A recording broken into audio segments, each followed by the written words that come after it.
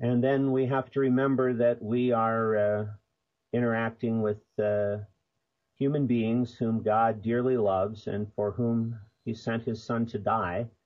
And uh, we need to love them uh, at least as deeply and passionately as we try to win them with our arguments. Um, I would also want to appeal to Ephesians 4:15 to speak the truth in love.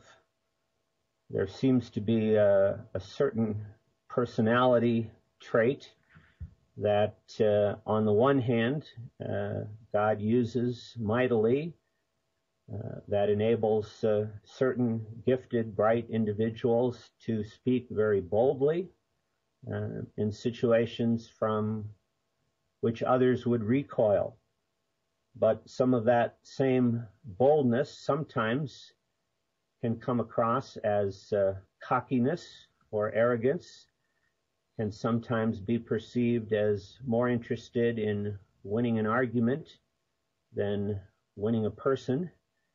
And uh, very few people in the uh, history of the world have ever come to Christ um, because uh, someone who they find personally obnoxious has uh, nevertheless convinced them with an argument.